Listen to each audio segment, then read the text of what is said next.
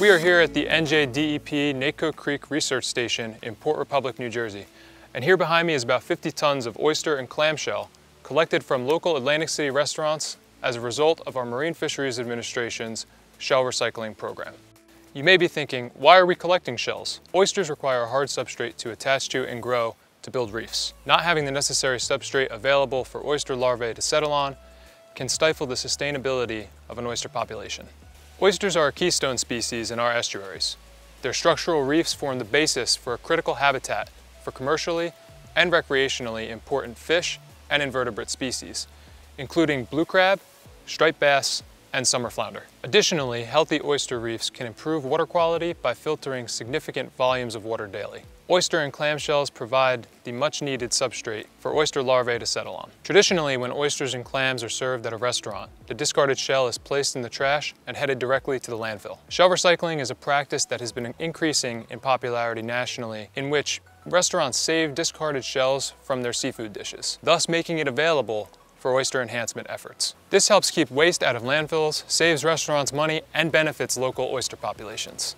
Our staff currently goes into Atlantic City on a weekly basis and collects shells that will be used to enhance oyster reefs in New Jersey's coastal waters. Currently, our staff collects shells from the Hard Rock Hotel and Casino, Docks Oyster House, and the Knife and Fork Inn. It's just, it's a, it's a great program. People love it because what they're eating, they're actually putting stuff back. They're putting the shell back into the environment to complete that circle. If we weren't picking it up, it would go back into a landfill. We have an operator lift that makes the so much easier. When we first started, we had three to four people going out. Now we can come out and do it with two people. We take these shells, we take them back to our shop, we let them season for about six months. It's, it's really cool to engage with the public. We've had multiple people come up and just talk to us on the street, like, what are you guys doing? And as soon as we explain to them what this whole process is, where things are gonna wind up, they just love it.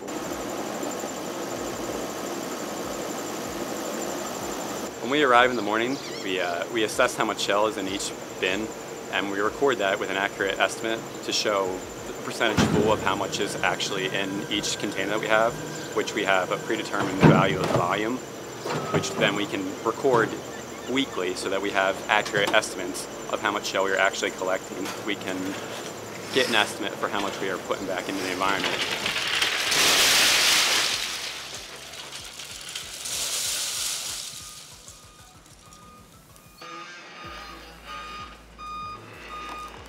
After the shell is picked up, it makes its way back here and undergoes a six-month curing process, where the shell sits on land exposed to the elements prior to placing it back in the water.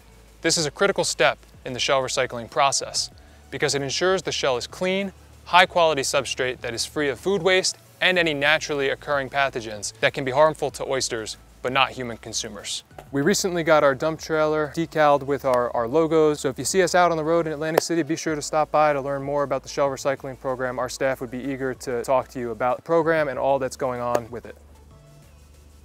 After the six month curing period, we load up shell on our conveyor belt. That conveyor drops all of our shell on a barge right down at our dock at the Nacote Creek Research Station and the barge is then transported out in the months of June and July, typically over a few week period that is in unison with the oyster spawn. So this allows for the clean shell to be placed down at the same time that the oyster larvae is entering the system, which gives uh, an optimal growing condition for the, the young oysters to attach to the shell. Once we're out into the river uh, and getting close to on site, we have a series of high pressured water hoses, cannons, that actually blow off the shell directly into the water, saving on having to shovel or any kind of manual labor, but allows it to get it off in an efficient way that pushes it right over the location we're looking to plant.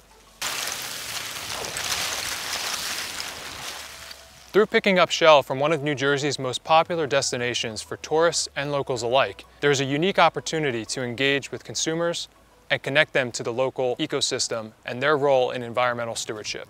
This shell recycling program originated in 2019 in partnership with Stockton University, the Rutgers Cooperative Extension, and the Jetty Rock Foundation.